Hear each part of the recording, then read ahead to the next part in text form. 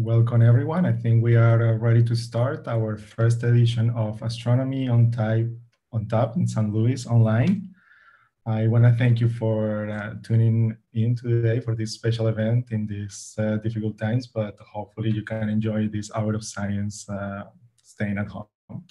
So first of all, uh, I would like to thank uh, our um, sponsors, Washington University in St. Louis, the Department of Physics of Washington University in St. Louis, I would like to thank uh, Urban Chestnut uh, Brewing Company here in, in St. Louis and uh, our partners, the Academy of Science uh, of St. Louis.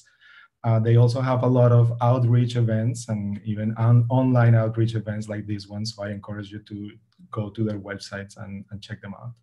And uh, finally, this is a program that is also supported by the JPL, the Jet Propulsion Laboratory outreach program called Solar System Ambassadors for uh, those of us who are uh, looking at us in anywhere in the US, this is a national program where people uh, conduct outreach events. So I also encourage you to look them up and see if there's something near to, to where you are.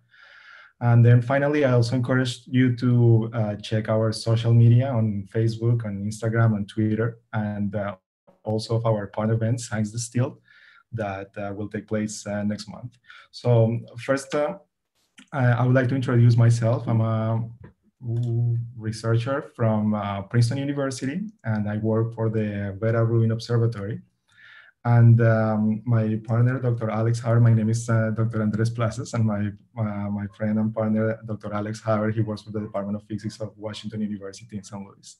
So today we have uh, two special guests, and uh, what we're gonna do is uh, we're gonna have these two talks. Each, each one of them is gonna be about 20 minutes.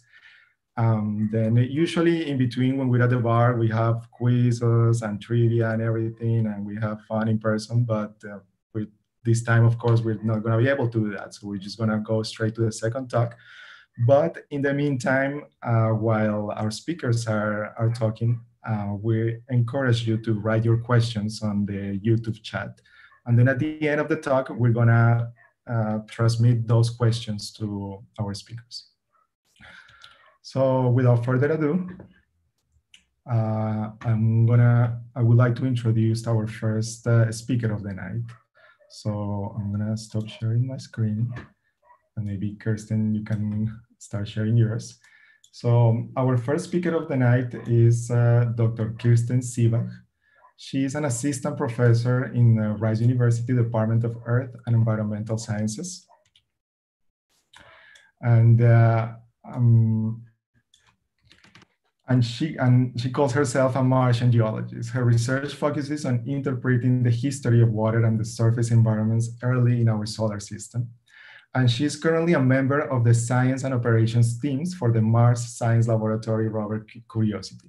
And previously, she has worked on the science and engineering teams for the Phoenix lander and the two Mars exploration rovers. Dr. Siebach completed completed her PhD in geology at Caltech and then did a postdoctoral research in geochemistry of Martian sediments at the Stony Brook University. And before Caltech, she attended Washington University in St. Louis, where she graduated in Earth and Planetary Science in, in chemistry. She is also actively engaged in promoting education and outreach related to Earth and planetary science and regularly presents at schools and outreach events, such as this one. And outside of professional interests, she loves to travel. She loves photography on Earth and well as Mars. And she enjoys swimming, hiking, and very importantly, social distancing. So thank you so much again for being with us tonight. And uh, I'm gonna uh, let you continue with your talk, Dr. Steven. All right. Well, thank you for that introduction. And thanks for the opportunity um, to speak to uh, the folks online. so thanks for logging into YouTube. Um, I'm going to be talking about some of the experiences driving the Curiosity rover and kind of focus in on some of our biggest discoveries and uh, what it is that we're kind of looking at on a day-to-day -day basis. Um, so to start, uh, go back to uh, go back to the big picture and so Mars is the next planet out from the sun. it's quite cold and dry and very barren today. Um, it doesn't have a protective magnetic field, and so it's lost much of its atmosphere. And it doesn't have plate tectonics, so much of the surface is quite ancient. When we first got pictures of all of Mars, we could see that it was dry and barren with just a bit of ice at the two poles. And we were initially pretty disappointed. We had been hoping for a long time that Mars would have uh, signs of life, that Mars might have a civilization or might have um, modern activity. And instead, we found that today it's it's pretty dry. It's mostly just the wind blowing dust across the surface.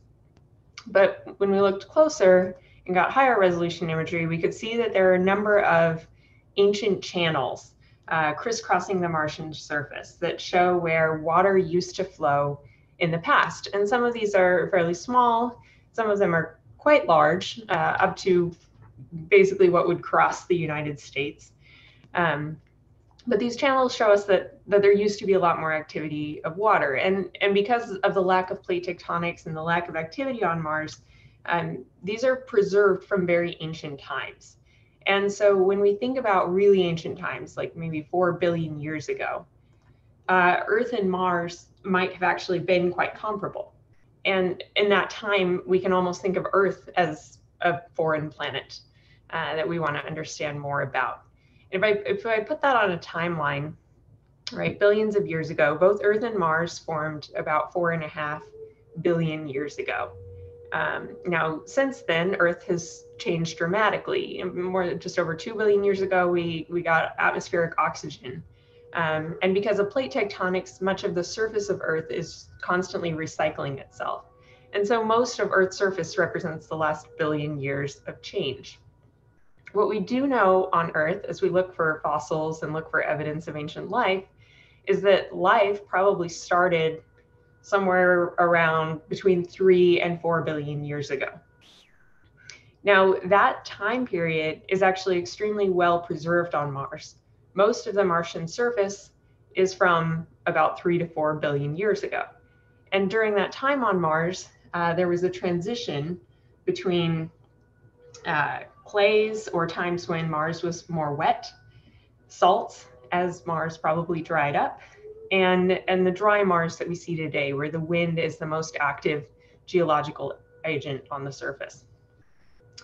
Um, and so we're really interested in these kind of major climatic transitions on Mars.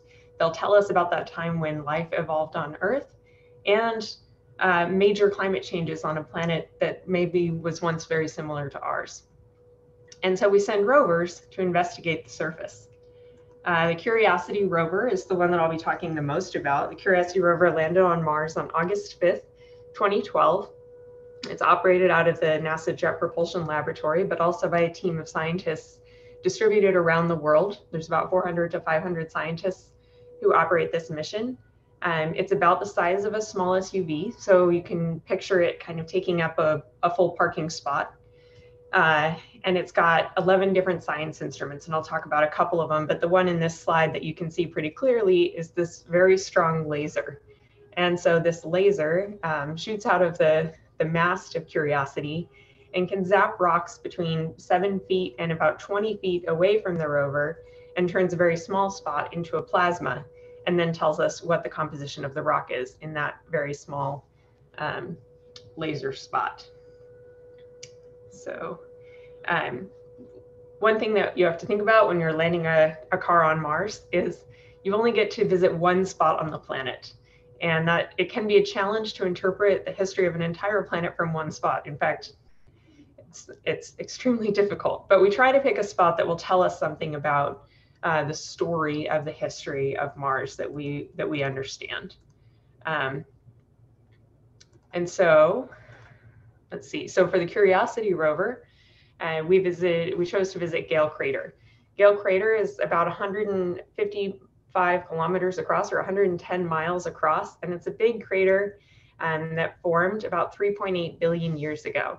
That was when an impactor hit the planet so hard that the middle of the crater actually rebounded up. So this pointy area is the central peak of the crater. Um, since then, much of this filled with sediment and later was eroded by the wind. We know the wind is an active agent even today, the wind is blowing in from this direction and it's blowing this dark sand all the way around the mountain and actually out the back of the crater. Um, this circle right here is where we tried to land Curiosity. And our goal was to investigate the layers on this mountain called Mount Sharp that surrounds the central peak of the crater. Now, we picked this spot because we could see from orbit that these layers have mineral signatures that represent those major transitions in Mars climate history. So we go from clays to salts to dusty materials. Um, and so when we actually landed there in 2012, one of the first things we did was sit in this spot right around the center, right where we landed, and look over at that mountain. And to get these pictures of Mars and get this real perspective is really just one of the most exciting parts of working on one of these missions to get these pictures from the ground um, to see another planet just like we would see Earth. And we do adjust these images so that the sky looks blue so that the colors of the rocks are similar to what they would be if we saw the same rocks on Earth. Now, again, we can see those transitions from wet Mars to drying Mars to dry Mars. Uh, and so that's where we wanted to head to go see what was going on. We did go a little bit in a different direction at first. Um, one of the first things we saw were these rocks, we call these conglomerates. Uh, they're cemented rocks that contain pebbles from different origins um, but what we were excited about is that those pebbles in this case are rounded. And so if we have round rocks that have been cemented together, you can see several round pebbles in here, um, and we know they're from a river.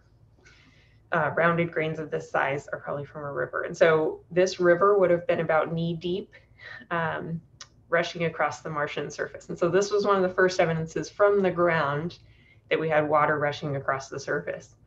And so we kind of we deviated from our main course towards the mountain and looked over. We found a few more rocks that showed layering that shows that they were deposited in rivers.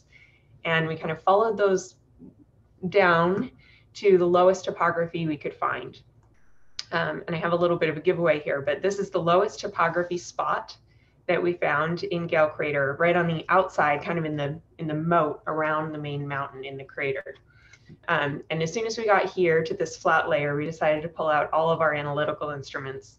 So we stopped Curiosity, we stopped this car-sized rover and tried dr drilling into the ground. Um, just to give you a sense, we have a whole lot of different instruments. We can zap the rocks with that laser. That'll give us the, the chemistry of very small spots. We also have an instrument on the end of the rover arm that can get the chemistry of a larger spot. It's called alpha particle X-ray spectrometer, and that spot's about the size of a penny. If we rotate the arm, then we can drill into the rock, and that's what we did in this in this light-toned mudstone. And those those drill holes are again about the size of an American penny. And here's that drill hole. It's about five centimeters deep. We drilled into what looks like red rock, just like the rest of Mars. But when we drilled it, the powder was gray. And that was really exciting to us because Mars is red all the time. and it's red because it's oxidized iron. But gray rocks usually have reduced iron. The difference between oxidized iron and reduced iron is energy that we know that microbes can use on Earth um, to sustain life. And so we were excited that there were chemical gradients required for life. Now, we were also able to look at these these samples with, uh, with a XRD, which is a kind of X-ray based instrument that reflects X-rays off the powder uh, to tell you what minerals are in the rock. And we were able to heat the rock up in an oven um, and see what kind of uh, volatile compounds came off. What we learned from that was that this rock is about 25 or 30% clay, uh, clay minerals, which form in water. And a lot of that water actually came out of the layers of clay. And so clay is a layered mineral. When you heat it up, you can release the volatiles that are trapped in between the layers of the clay, and we can see what the chemistry of the lake was like. Now, our conclusion from that was that this lake, this area that we drilled into, was actually a lake that would have been habitable for Earth-like life about three and a half billion years ago when it formed. Um, so that means it had all of the components required for life. It had liquid water. It sustained that liquid water for an extended period of time. It had all of the chemicals required for life, all of the elements that we typically see in organisms on Earth. It had favorable conditions. There wasn't uh, it wasn't super acidic or super basic or super salty. Um, instead, it was a clement lake that, um, and then it had energy for life. I told you about the different forms of iron. And so this is one of the major discoveries on Mars in probably the last decade is that Mars actually had places three and a half billion years ago where life could have survived, life would have been happy.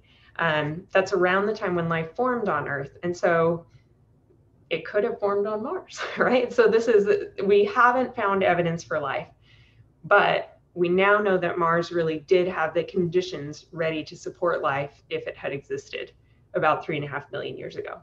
One more finding since this time is that at least one of the drill holes we drilled into this rock actually did have um, organic molecules or carbon bound to hydrogen uh, molecules. And so those molecules actually survived from three and a half billion years ago. And so not only did Mars have habitable environments, but it had environments where um, organic molecules may have survived. And so this makes Mars an even more exciting place to keep investigating and keep understanding kind of what those times were like early in the history of both planets. Um, after we saw that, we decided to drive over to the to the mountain quickly. And so we looked back at those layers and they're just so beautiful. All of these great layers of rock. We know that when we see layered rocks like this, we can tell the story of what happened in past environments by starting from the bottom or the oldest rock and looking at each layer to understand progressively younger or more recent environments. So we started driving really quickly. Um, unfortunately, about hmm, a couple, about 100 days later, we looked down at our wheels and uh, saw that there were actually holes in the wheels. now, these holes right over here, these are intentional, um, but these holes were not intentional. Uh, the wheels were designed to be really thin aluminum so that they would have maximum surface area so that we could drive and get out of like a sand dune if we got stuck and also so that the rover would weigh less and we could put more of that weight into the science instruments. Now, unfortunately, it turns out the rocks on Mars, having been carved by the wind for billions of years, are relatively pointy. and so they were a lot harder and a lot sharper than we thought they would be. Um, when something like this happens to your car on Earth, you could take it to a mechanic. But since we've got a car on Mars, we can't fix it. And so we have to figure out ways to drive more carefully um, and avoid as many rocks as we can uh, and avoid having this happen. One other point I wanted to make on this slide is just that these wheels, these holes that are intentional are meant to be a tracer for how many times the wheel has rotated. And uh, they actually spell out JPL in Morse code. So NASA, NASA Jet Propulsion Laboratory decided to brand Mars by putting JPL across the surface each time these wheels rotated. Um, so those, those holes were intentional. Uh, when you think of driving a car on a road trip, if you had 400 scientists in your car and there were no highways, um, then even when you have a specific requirement, like try to avoid driving over a lot of small rocks, uh, if you ask five different experts, this is an actual slide from one of our discussions, how to get from A to B, um, you may see about seven different paths um, you know, at least one of which doesn't end at B, right? So, so working with a team of 400, 500 scientists around the world tends to look like this. But at the same time, it's really exciting to have so many different opinions and so many different ideas and backgrounds that come together in order to make decisions every day about what the rover will do um, as we continue to traverse the surface. Um, and so what do we do? We keep putting together these stories. And so we understood that first lake and we drove across some more rivers. These are actually the same rivers. These are rivers kind of turning down up on the top mosaic. And actually, you're kind of sitting right over here with the rover looking this way for the second mosaic. So you see the rivers dipping away from you. Um, if you want kind of a visual, these are rivers going down into a lake. So we drove over this way to find the lake. And indeed, we found extensive lake sediments. And so I'll show you just a little video clip to tell you the story of the crater that we've put together from the geology we've seen so far. Four billion years ago, you're on Mars. There's a bunch of volcanic rocks. 3.8 billion years ago, there was that major impact that created the central peak in the middle of the crater. And what you see here is some groundwater filling in, and there's also water flowing in from the edge of the crater. Now that water is going to carry pebbles and sand and mud, and it's going to keep flowing in and depositing that sediment. Um, this lake lasted an incredibly long period of time, probably tens of millions of years based on the sediments we've seen at this point. Now, at some point, it did shut off, and we think the rest of the crater just filled with wind-blown um, sand and dust. And so a lot of the crater probably filled up with sand and dust and wind. Uh, later, for some reason, the wind changed, and the new wind in this area caused erosion. And so there was erosion not only of the layers deposited by wind, but also of the layers originally deposited with sand and conglomerates, pebbles, and mud. Further, more water kind of flushed in through fractures. We think the water continued until at least 2 billion years ago. And then in about 2012, a rover showed up to investigate these layers. And so we've been driving through these mudstone layers um, for the past seven years, investigating this part of Mars. Um, as we do that, whoops, next slide. Uh, we continuously, we try to take drill holes whenever we can, sample the rock and understand how the lake is changing. We also take selfies whenever we can, especially when we drill a hole because we're really proud of ourselves and everyone takes a selfie when they're proud of themselves and their accomplishments. Um, so this is the rover taking a selfie um, as it's been driving up the mudstone.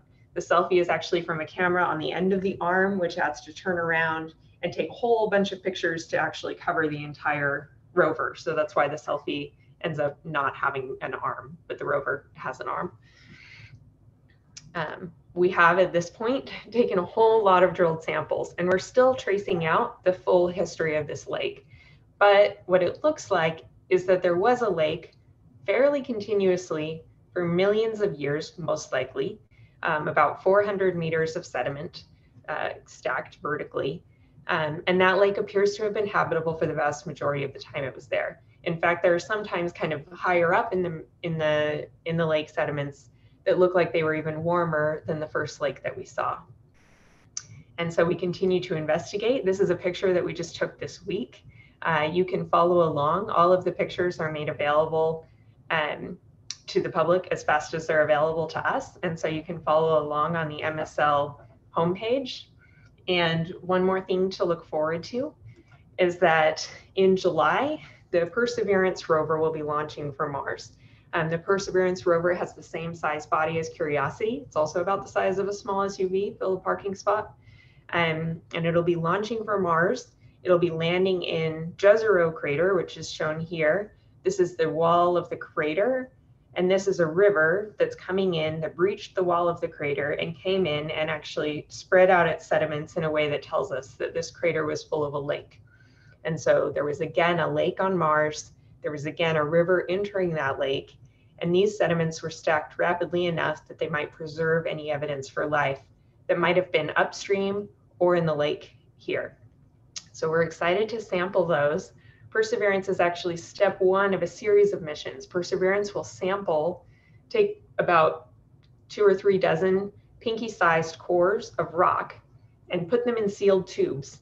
And Perseverance will leave those sealed tubes on the surface of Mars. Another mission will come in probably the late 2020s uh, and collect all of the sample tubes and send them, launch them into orbit around Mars. At which point, a third mission that has come straight from Earth will grab the sample tube package from orbit around Mars and bring it back straight back to Earth. That mission doesn't have to land on Mars. And so that's part of the reason for the three part series. But we're excited that, um, especially if there's any students listening, uh, you guys will potentially have samples selected carefully on Mars to actually work with here on Earth. We have so much more analytical capacity here on Earth. And so those samples will provide new insights into the Martian surface for years to come. Um, so we're looking forward to that. Look forward to the launch window this coming up this summer and the landing uh, next next winter. And with that, I'll pause uh, for questions. Um, thanks for listening. Thank you so much for your talk. That was really fascinating. We already have some questions coming in. So Veronica Howell wants to know, what is the biggest challenge to landing humans on Mars? Uh, let's see. So one of the biggest challenges is the radiation that they will have to endure during both the trip to Mars and on the surface of Mars. The trip to Mars would take probably about, well, the trip itself would take six to nine months.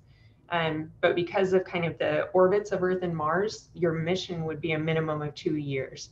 And during that time, the astronauts would be exposed to a lot of radiation. So there are still science and engineering challenges besides that one. But one of the biggest challenges for humans uh, going will be the radiation that those humans will have to we need to find a way to protect them um, from that level of radiation. One other thing is we want to protect Mars from being too contaminated by Earth organisms um, to find evidence if there was ancient Martian life. Uh, so there's a couple different, those are a couple things to think about, but there's actually, there's a few other science and engineering challenges. I would just say radiation is the biggest issue. Um, we have another question that I think you have partially answered at the end of your talk, but I'm gonna um, read it to you anyway. Um, what are some of the future plans for sampling on Mars and looking for signatures of life? Yeah, that Perseverance rover is our next uh, big project for sure. Um, but that will that comes with uh, so that's the next step is collecting those samples and trying to bring them back to Earth. The Perseverance rover will also have some instruments to analyze samples um, on the planet, and so that'll help us select the right samples and also learn more from that mission. And then we hope there will be more missions. We don't have any more funded um, projects that are moving forward right now. Another question we have, uh, did Mars have a period of heavy meteor bombardment like the moon and the earth? Yeah, great question. So there was a period of heavy meteor bombardment um, early in solar system history, and Mars definitely experienced uh, significant impacts from that time period. Mars is very close to the asteroid belt, and so it may have even experienced a more dramatic heavy bombardment um, than the moon. But we used this, the chronology we got from the moon um, in order to get relative dates for the different surfaces we see on Mars, uh, taking into account that bombardment because it's near the asteroid belt. Then we have another question. Is the water on Mars liquid or ice? Today it is all ice and there's a little bit in the atmosphere. So today it is all ice and gas. The pressure of the atmosphere on Mars is so low that liquid water is not stable. So I also have a question. I know you talked about a different rover, but one of the funniest things I read in the past was when InSight had to hit himself with itself with a shovel to to dig itself free. So I think the question we all have is it doing okay? Uh, from what I have heard, I've also been following along with that story. But uh, InSight has been InSight is a lander, so it's not moving around, but it is trying to to bury a probe that will be able to measure the temperature as it kind of dips down into Mars. But it has encountered a number of challenges with getting that probe to the depth it wanted. Um, and like you said, it used this technique where it kind of used the back of its hand um, on the on the cord for that probe to try to help it get a little more ground, deep, get a little deeper into the ground. Um, I don't think it has reached the the desired depth at this point. We'll keep hoping. So we actually have more questions coming in right now. So does Perseverance has different cap uh, capabilities than Curiosity? Will it be more capable to find traces of biomolecules or other signs of simple life? In some ways, yes. So the instruments on Perseverance are more designed to look for um, organic molecules that are that are at the surface and visible. It has a Raman spectrometer and it has a stronger, or it has a newly developed laser instrument similar to Curiosity. Um, in other ways, not as much. So it's it's it's a balance. So Perseverance's instruments are designed to be able to kind of survey different areas of the ground and help us pick the optimal sample for drilling and saving.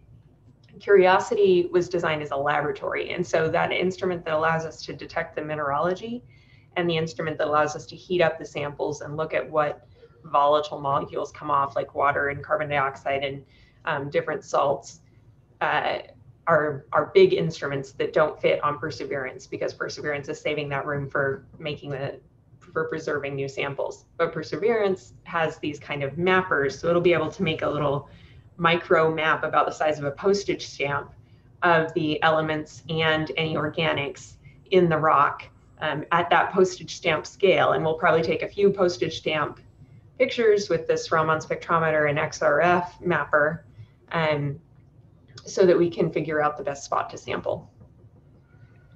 So one person just asked for your personal gut feeling. Was there ever some form of life on Mars? My personal gut feeling is, let's see, uh, it's tricky. I think that there very well could have been. And I think that Mars is probably one of the easiest places for us to be able to look. Um, I think Mars was definitely in the habitable zone and definitely habitable at the same time as Earth. Uh, I think there could definitely be life somewhere in the universe. Um, I think so. I think Mars is kind of our best bet, and so I'm hoping that we can find. Um, I've actually, I will say, I have become more convinced that it would be possible to find that kind of evidence on Mars because of this mission, because we have found organic molecules, we have found carbon bound hydrogen, organic type molecules in in the sediments, and so I am still waiting to see, but I am definitely still hoping. It drives my it drives my research is is kind of asking these questions. I, one other point. Now I'm rambling, but one other point is that um, the other side is that Mars gives us this chance to see what geology and what atmospheres and what planets could be like without life. And so the other side is that we've never had an example. When we're on Earth, everything we see has been affected by life um, from the atmosphere to the way that rivers flow um, to the minerals that we form. Um, everything has been affected by life. And so, in some ways, I would I'm absolutely excited and looking for life on Mars, and definitely looking as we as we get to investigate more exoplanets. But in other ways, I think it's really cool that we have the chance to look at a planet that isn't so dominated by life and try to understand what the real influences of life on our planet are. So one user asks, uh, what happened to the early water? Did it all evaporate out of Mars gravity well? Was it blown away by the solar wind? A lot of it was blown away by the solar wind. Um, and some of it might be locked in the rock record. So when we're looking at these ancient clays and heating them up, we are finding water. And if there's even just a little bit of water, but it's spread all over the planet, um, in those ancient records, then that could have also helped take some of the water out of the atmosphere. And without plate tectonics and volcanoes to refresh it, um, you can lose water both to the surface, bound to the rocks, and out to space because there's no magnetic field. Okay, we have two more questions before we have to go to the next talk. So um, one question is, what is the time difference between commands from Earth and then the action of the rover on Mars? Mm, good question. Uh, so it's it's about uh, it, depending on Earth and Mars' respective orbits. There can be a five minute delay to about a 30 minute delay, uh, just in terms of the speed of light to actually get the command to Mars. But in reality, we're sending the, the commands to satellites orbiting around Mars, which then communicate with the rover directly. Um, and so because of that, we still only get we only get the chance to communicate with it basically a few times a day. And so we send up orders to tell the rover what to do for one to three days at a time. Three days at a time is really just so we can have a weekend. But we, we do at least a full day at a time because we only get a few chances to send that signal. Everybody needs a weekend from time to time, even a Mars rover. So as a last question, how high up uh, Mount Sharp do you expect to attain? We are just planning some of that now. We are just kind of approaching where from orbit we saw the clay signature and or sorry, the clay we are currently where we saw the clay signature and we're approaching where we saw the, the salt signature, the sulfate signature, and looking at that drying out process and kind of what that actually looks like in the geologic record. Um, all of that will probably only still take us, um, we're maybe 400 meters above the crater floor right now, vertical elevation, and we'll maybe get another 100 or so. We've got a lot of rocks to investigate and a lot of things we'll want to drill along the way. Um, the, the full mountain is actually about four and a half kilometers high. And so it's actually a very large mountain and we won't get to the top of the mountain at all. Okay, thanks. Thanks you so much for your great and fascinating talk. That was really super interesting. And I will turn over to Andres that he can introduce our second talk. Thank you so much, Dr. Siebach. That was very interesting. And uh, I am myself learning a lot as a cosmologist, and I'm pretty sure our viewers are also learning a lot. But uh, now we're going to continue with our grand tour of the solar system with our next speaker. So for our second talk of the night, we have Dr. Ryan Watkins. Um, she is a research scientist with the Planetary Science Institute and uh, is on, and she is on the Science Advisory Board for Blue Origin's Blue Moon Lander Project. Her research focuses on integrating remote sensing data sets to characterize the physical and compositional properties of airless bodies, with particular emphasis on the lunar surface. She specializes in using photometry to understand physical and compositional properties of planetary surfaces and in integrating planetary data sets to assess landing site safety hazards for future missions. Dr. Uh, Watkins obtained degrees in physics and space science from the Florida Institute of Technology in 2010 and her PhD in Earth and Planetary Science from Washington University in St. Louis in 2015. And before joining the Planetary Science Institute as a research scientist, she served as a postdoctoral research associate at Washington University in St. Louis. So uh, please, uh, Dr. Watkins, go ahead. And All right. Thank you. It's uh, it's good to be here again, actually, uh, even though we're not in in person this time. Um, but yes, thanks for having me. So uh, we're going to switch planetary bodies here, and um, I am going to focus on uh, the moon. So the next few slides um, that I'm going to show you um, is going to be a lot of information about returning to the moon, which you know, if you've paid any attention to the news, you know is kind of a a big topic right now. So this is exactly what you just said. So I'm actually going to skip over this um, and move on to why I am very interested in returning to the moon. So there's a lot of reasons really, but um, there are a lot of companies that are really looking to go to the moon right now. One of which obviously is, is Blue Origin, like, like Andres just said. Um, I am on their Blue Moon uh, Science Advisory Board. So we're helping to uh, tell Blue Origin things like um, this, these are good landing sites. We're giving them feedback on lander design. Um, but all of this is really because of the recent push, um, especially within the US, but it is an international um, effort right now to return to the moon.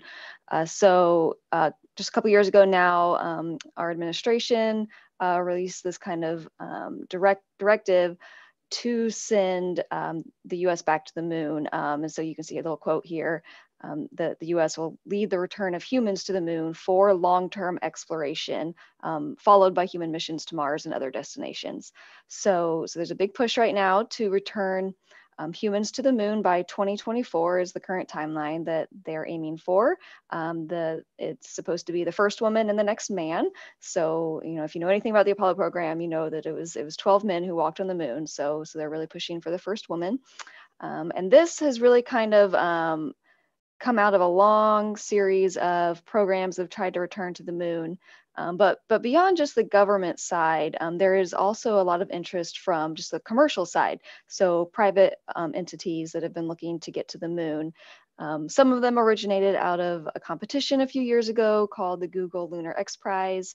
Uh, so this was kind of a competition for companies to develop landers and get to the moon by a certain date, and there was you know cash prizes. And um, even though none of them met that that timeline, um, it really kind of generated this boost in companies that were interested in the moon. Um, and so the logos you're seeing over here are just a couple of those companies: Astrobotic, Blue Origin, Masten, a few others. Uh, so and beyond just NASA and commercial companies, there's also a big international push for the moon. So the moon is a hot destination right now. Um, but um, you may be asking, uh, why should we go back? Uh, so there's, you know, a few people in the camp of, you know, well, been there, done that. We obviously sent humans to the moon. We brought rocks back. Like, why do we really need to go again? Um, well, there's actually a lot of great reasons to go back to the moon. Uh, the first of which is just continued exploration. Um, so really, it's it's kind of in our human nature to explore. Uh, we've been doing it for all of you know the time that humans have existed, um, and so it's really just kind of in our nature to continue exploring. And there's a lot of the moon that we haven't seen yet. Um, another reason is to build um, permanent or semi-permanent architecture. So living on the moon for extended durations of time, whether it be months or years or even longer, um, just really getting there and living off of our, uh, our own planet. Uh, we have a lot of unanswered scientific questions about the moon, and we could spend, you know, a few more hours talking about that. So we won't really go into all of that, but there's a lot we don't know about the formation and evolution of the moon um, and, and kind of what it was like in its um, ancient past. Uh, it's really great practice for Mars. So I'm very solidly in team um, let's go to the moon in order to learn how to live on Mars. Uh, there's a lot we can do with the resources on the moon, which kind of feeds directly into the next one I have there. Um, we can learn about living on another planetary body for long periods of time, being exposed to radiation, um, uh, just lots of different things, uh, developing technologies we may need to live on Mars and to, to go to Mars. Um, and going back to the resource harvesting, we can actually use um, the soil on the moon, which we call regolith. Um, we can produce things um, like water and um, uh, rocket fuel from, from the hydrogen and oxygen and different minerals that are within the rocks. Uh, so there's a lot of work being done right now to look into that. Uh, and then finally, um, international cooperation. So like I said, a lot of countries are looking to go to the moon. Um, there's India, China, Russia, um, lots of others. So it's just a really great chance for us to really come together as an international community and cooperate and share data. All right, so um, this is uh, the near side of the moon. So, so when you look up at the moon in the night sky, this is the side you see. Uh, if you're not familiar with it, then um, the moon is tidally locked with Earth. So we only see one side of it from Earth. Um, and this is the side we see, the near side. And here I'm showing all of the sites where we have sent spacecraft to the actual surface of the moon. So your, your yellow, or sorry, your green stars here are the surveyor missions. So these were the first set of spacecraft um, that we sent to the moon. Uh, they, as their name might suggest, were kind of surveying missions. Their kind of main um, point was to demonstrate the feasibility of doing a soft landing on the moon in preparation for Apollo. So there were uh, seven of these in total. Um, a few of them did crash, uh, but you know we've got you can again see here the ones that are still sitting on the surface of the moon. Uh, there's one also here um, at Apollo 12 that's not highlighted, but the, the two spacecraft were so close together it was too much overlap. Um, and then uh, the, the blue stars here are the Apollo missions, so the ones that a lot of us are most familiar with, um, which were obviously the human missions. Uh, there were six of those. And then the red are the, the Russian Luna missions. Um, these were uh, stationary um, spacecraft, and then a few of them also had some rovers, um, and then a few of them returned samples as well. And then yellow are the more recent ones. So these are the Chinese Chang'e missions. We had Chang'e 3, which landed in 2013. Um, and then Chang'e 4, which is on the far side, and it landed last year, I think 2019. So uh, now I'm going to remove the ones that were primarily technology demonstrations. Uh, so now we're left with the missions that were uh, mainly focused on science. Uh, so, you know, the Apollo missions obviously did science and then uh, the Russian and Chinese.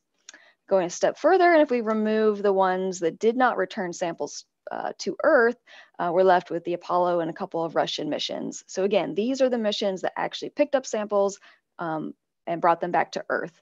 Uh, so if, when you think about that, you can see we have not actually covered very much ground here in terms of the rocks that we have analyzed on the moon um, directly, um, especially in labs on Earth. Uh, so, and a lot of these are kind of really focused the more equatorial regions of the moon. And as you can see, they're all on the near side. So if we switch over to the far side, uh, this is the side of the moon that we cannot see from Earth. You can see it looks drastically different. Uh, this is one of the unanswered questions is, is kind of why? Why is all the, um, so let's go back real quick. This, the dark areas are ancient lava flows. So these are um, the mare. Um, and you don't see as many of those on the far side. So that's kind of a big question is why do we have this dichotomy? Um, and again, you can see we have only sent one mission to the far side. This is the Chinese Chang'e 4 mission, which just landed a year ago. So we really have no ground truth data from the entire back half of the moon. All right, so again here I am showing um, the near side of the moon and the Apollo landing sites. This is overlaying on a map of the United States. And I like to show this because I, I kind of try as best I can to center Apollo 11 on St. Louis, which is where a lot of us are, at least it's where I'm at. Um, and you see, can see if you kind of move west, we, we haven't even really made it to like New Mexico, Arizona, California area. Uh, we've certainly not made it to like, you know, the East Coast. Uh, so just in terms of the actual ground distance traveled, we have not made it very far. Um, the Apollo astronauts, both on foot and in their little cars, they only traveled about 60 miles. Um, so that's not very far. I mean, that's like, you know what, a drive across town for some people if you live in a small town. Uh, but yeah, so there's a lot of ground left to cover. So this is kind of one of the really big reasons why we need to get back to the moon because we really just have not seen a lot of it. Uh, and that leads me to what we're doing to prepare to send humans and robots, robot, robotic spacecraft to the surface of the moon. So it turns out we've been preparing for well over a decade now. So in 2009, NASA launched a spacecraft called the Lunar Reconnaissance Orbiter um, to the moon. So as the name suggests, this is an orbiter. Um, it's, it's not on the surface, it just um, orbits the moon and uh, collects data. So uh, we call it LRO for short. So LRO was designed to gather information to help scientists and engineers plan a return to the moon, um, primarily with, with astronauts at the time. Um, and the programs have kind of shifted a little bit since then, but now we are back to planning to send astronauts to the moon. So LRO has a suite of instruments that um, are designed to help characterize the surface. Uh, we've got high resolution cameras that take really great images. We have a thermal radiometer that measures kind of the thermal properties of the, the surface. We have radar, we have lasers that measure topography and, and a few other instruments. Um, but a few of the primary goals of LRO were to identify safe landing sites, um, first off for future missions, uh, locate resources on the moons, so like I mentioned before, find areas where we can really mine the regolith for hydrogen and oxygen and things that we can use to produce water. Um, characterize the radiation environment, which is again key for when you want to send humans. Um, learn what the moon's made of. So what are the different rock types um, that are present across the surface of the moon? Um, search for water ice, and then uh, figure out how often the moon is actually hit by meteors and um, kind of really get at the impact flux. So back in 2018, um, a lot of the lunar scientists got together and really brainstormed on what are the key scientific destinations on the moon. Um, so where are the places we really want to go next? Um, and this um, we kind of got together primarily to try and inform a lot of these commercial companies who are looking to return to the moon because a lot of them are, are engineering based. Um, and so we were kind of coming from a scientific side of saying, hey, these are areas you should really focus on. Um, now, you can go anywhere on the moon and do great science, but these are just a, lot of areas that we've identified as um, really addressing some key questions that we have about uh, lunar history. And so I'm not going to talk about all of these because I don't have time, um, but you can see they're spread across the entire surface of the moon, north to south, east to west. Um, there's a few that are kind of are, are more global um, things like, you know, a geophysical network, so setting up seismometers across the surface of the moon. Um, but I will uh, talk about a few of these um, in the next few slides. Uh, first, we're going to start with the South Pole because the South Pole is uh, kind of the primary destination we're looking at for the return of humans to the moon, especially for the first few uh, missions. So um, observations from LRO indicate that um, some of these craters near the South Pole, Cabeus, Shoemaker, Faustini, um, show great potential for actually having subsurface ice. So again, these are near the South Pole and there's a lot of areas um, near the, the pole that are in permanent shadow. So they never see sunlight, they're incredibly cold and this really allows them to retain um, water. So LRO does have an instrument that's designed to detect neutrons coming from the surface. Um, so uh, if the presence of hydrogen in the soil actually reduces the number of neutrons um, that kind of escape the surface. And so when we look for these areas where there's reduced um, neutron counts, um, and then that kind of really shows us where we may be able to find um, sources of hydrogen, which may be sources of water. So these really, these blue areas you're seeing here are those, those areas that may have water. Uh, so we're interested in the South Pole again because of the water ice potential and the resource potential, really a great area to send humans if you want to live and have you know water to, to live off of. Um, it's also located, the South Pole is also located near the oldest and largest impact basin on the moon, which would really constrain the, the impact chronology for the moon. Um, and again, technology development for Mars. So getting humans to the South Pole would be a really great place to kind of um, live and work and develop the things we need to, to move on to Mars. Uh, the next one I'm going to talk about is the Aristarchus Plateau. So this area is very interesting for several region, for several reasons. Um, first, uh, it consists of this large crater Aristarchus that you see spinning here um, at the bottom. So this is a fairly young crater. Uh, it's uh, possibly excavated some, some rare volcanic materials on the moon, which I'll actually talk about again in a minute. Um, and then you've got the whole, this whole big plateau area to the north, north sort of northeast of the crater itself. Um, so this entire area, the plateau and the crater, ha it has the highest concentration of volcanic units on the moon. So we have pyroclastic materials on the plateau. Pyroclastics are uh, products of explosive uh, volcan um, volcanic eruptions. A lot of these pyroclastic areas may have glass beads that have um, water trapped inside. So they're really interesting from like a resource potential perspective. We also have the oldest um, and sorry, the widest and deepest sinuous rill on the moon, which is this little um, kind of canyon looking thing here, um, which is um, was created by an ancient lava flow. Uh, so, so that's another volcanic area of interest. And then again, the crater itself may have excavated um, some granitic-like materials, which are a re really rare type of volcanic product on the moon. Um, and then finally, um, this entire plateau and crater area are located near some of the youngest basalts on the moon. Uh, so again, lots of interesting volcanic um, things to look at here. All right, so moving on, another area that we've um, considered for future landing sites are swirls, which are exactly what you might think. Um, they are these really beautiful swirly features on the surface of the moon. They're just literally these, these high reflectance areas, um, and we don't know how they're formed. We do know that they're co-located with magnetic anomalies. So the moon does not have a global magnetic field like Earth does, um, but it does have little like kind of like hotspots of magnetic fields. Um, and um, so these swirls are located in those magnetic um, anomalies. And uh, there's a few different formation mechanisms that have been proposed. One is that um, their location within these magnetic anomalies uh, may actually be shielding them from any kind of weathering from the solar wind. Uh, so over time, the solar wind's interaction with the lunar surface darkens it. Um, but if you have a magnetic field that's um, deflecting the solar wind, then we may get these, these really bright areas. Um, there's been some hypotheses that maybe cometary impacts have kind of swirled up the soil and made it look really bright, um, or maybe that there's some kind of particle sorting going on because fine particles on the moon tend to be brighter than dark ones. Um, but we don't really know, and we really won't know until we, we get there with um, a robotic spacecraft or humans. So in addition to being beautiful, they're scientifically interesting. Um, another um, site we're looking at, this is kind of one of those things that's, you know, scattered across the moon, are um, pit craters. So pit craters are depressions that were formed by the collapse of the surface, um, generally laying above an empty lava pit chamber. So at one time, lava was flowing um, underground. Um, now that lava is obviously gone. So we have the empty chambers and these, these holes have just kind of collapsed into the surface. Um, so these are of interest for a few reasons. For the scientific um, reasons, um, being that if you can get a spacecraft inside there or you know something like this little tethered rover, you can actually look at the layering within um, the walls and get information on the sorts of lavas that flowed, how much they erupted, um, their speeds, their intensities, and just really give us a lot of information about the volcanic history of the moon. Um, and then from an exploration perspective, pit craters are very um, interesting because if you can get down in there and actually maybe build your base or just like have a place for your humans humans to be, then you're shielded from radiation, um, micrometeorite impacts, and um, the extreme temperature swings of the moon. So really ideal for like a future habitat.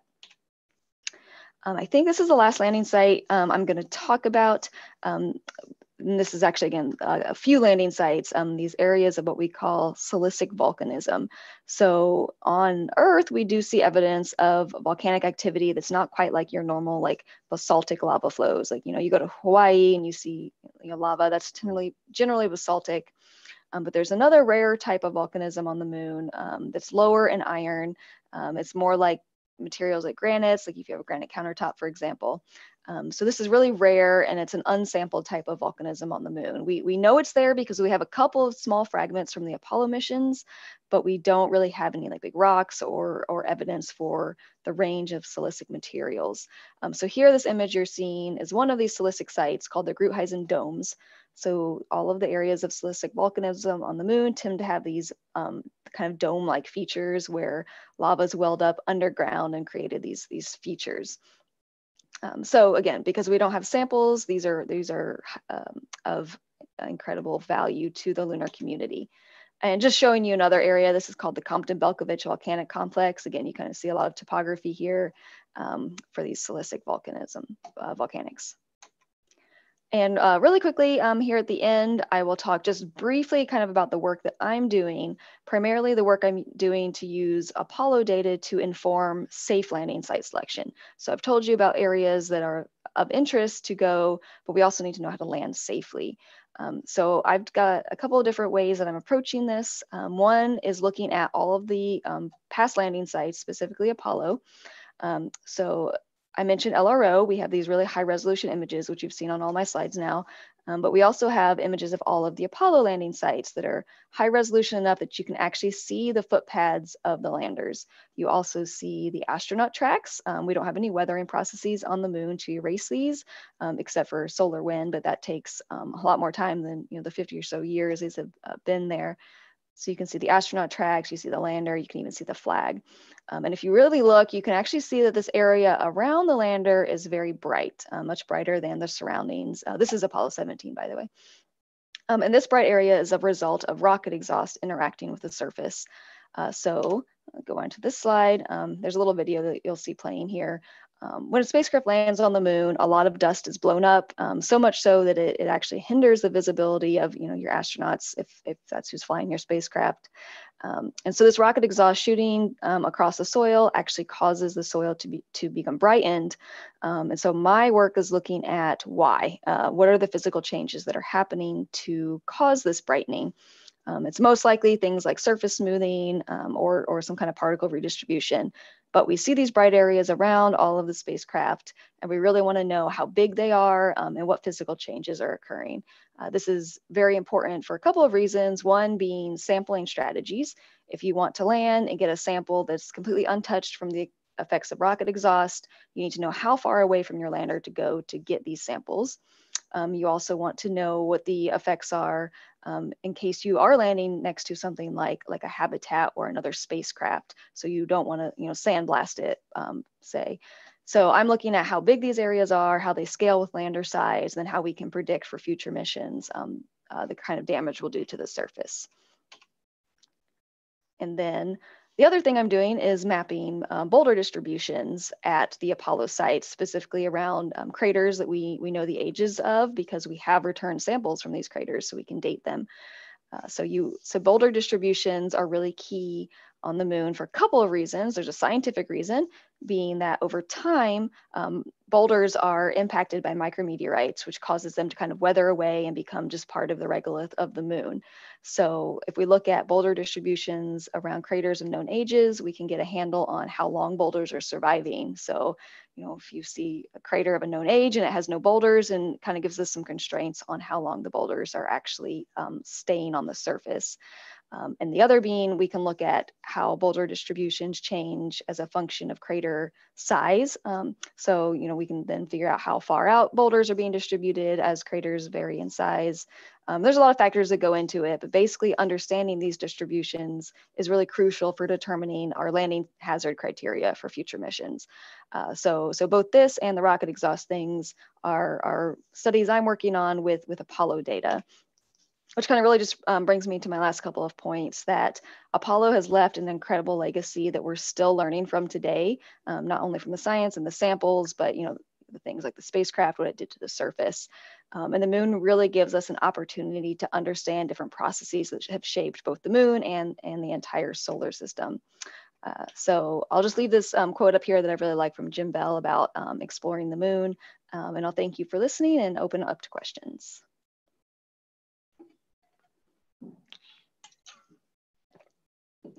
Okay, thank you so much for your talk. That was also really interesting and fascinating. we have a little bit of a delay to the YouTube channel, but we already have some questions. So the first question we have is, um, do you think the tardigrades from the crashed Israeli mission can survive on the moon? I'm gonna go with no. Um, now, granted, I don't know a lot about you know how how they survive, but there there's no atmosphere on the moon. There's really nothing there to support life. So I'm I'm gonna go with the solid. Probably not. That's sad to hear. So I mean, maybe they will. It'd be kind of nice, but maybe I'm pessimistic, but I'm I'm not optimistic. So we have another question. What would be the most realistic material or minerals we could harvest economically from the moon? Um, yeah, so I'm I, I don't you know speak resource harvesting very well, but there are a couple of minerals that that are of interest. Um, things like like ilmenite, which has iron and titanium and oxygen. There are different processes to really extract the oxygen and, and and generate hydrogen and things that you can then use to produce water and rocket fuel. So that's that's of interest. Um, there's there's people who look at um, just taking the regolith as a whole and just you know generating oxygen from it. I don't know again the intricacies of that process. Um, there's some interest in helium three again, not something I know a lot about, um, but but there's obviously a, a, few different things that we can look at, and and these minerals and rock types are abundant across the surface of the moon. So there's a lot we can do anywhere we go with resources. Um, but again, going somewhere like the poles where there's more hydrogen, more water, um, you can probably do a little bit more in terms of, of things you can live off of there. So we also have a follow-up question basically to this question. So reg regarding resource extraction, are there any international regulations or policies in place to prevent conflicts among countries' corporations? Yeah, um, there there are like a few treaties. Again, I couldn't tell you what all the language is, um, but in short, like no one owns the moon, um, and there is I think some work being done in our administration right now. I haven't followed it very closely um, to basically legalize um, things like mining on the moon, um, and then there's something set in place just to to avoid any big conflicts. But but there's no you know no one has laid claim to any particular region on the moon. So again, there are some treaties to kind of you know navigate some of this, but essentially anybody could really go land anywhere um, on the moon. So one question is, how big are the impacted areas around the landing site approximately? Yeah, they're about, it depends on the size of your spacecraft, um, tens to hundreds of meters. For the Apollo missions, it's on the order of about 100 to 200 meters, um, kind of going out from the spacecraft. Um, if you're looking at, this is really interesting. I wish I had the slide showing it. Um, things like um, the the Blue Origin Blue Moon Lander or the SpaceX uh, what is it Starship uh, I think they're calling it um, those are going to be much much larger so those are going to be big issues um, but yeah for for the Apollo missions it's about 100 or 200 meters depending on which mission it is. So one question is would you did you do you personally want to go to the moon? I would love to go to the moon. Um, yes you know, 2024 is kind of close. I'd love to be the first woman. I don't know if I can make that slide that one in, but yes, I would love to go someday. Okay, we have a very spicy question. So, oh. I am all for lunar exploration, but my wife isn't. What would you say to convince her that lunar exploration is worth the tax money? Yeah, um, I would say that we, we don't go to the moon just to, to answer some fun questions that we have about the moon, but we actually also go to the moon to learn about our own planet. Uh, so there's a lot of things that, that tie in between kind of the Earth and the moon. Um, we share possibly a similar history. Um, again, this is there's formation theories that suggest that the moon was was once uh, or basically was generated from an impact with Earth. Um, so, so there's really a lot that we can learn about the moon that will inform um, the history of our own planet in terms of impact history and evolution and, and different things like that. Um, and then from kind of an exploration standpoint as well, um, you know, we're often looking to go live off of our own planet because, you know, one day we're going to deplete our resources. Um, the moon is the easiest place for us to get to. It's our nearest neighbor. You know, why not go? Um, it really helps us prepare for other places like Mars. So, so again, we, we look at the moon because it is scientifically valuable in its own right, but it also really tells us a lot about our own planet. Okay, so I think now that we're not only learning about science, but also are saving potentially a marriage, that's a good point to stop. Thank you so much, everybody, for tuning in to our first online event. And we hope to see you soon at Science Distilled or Astronomy Tap again.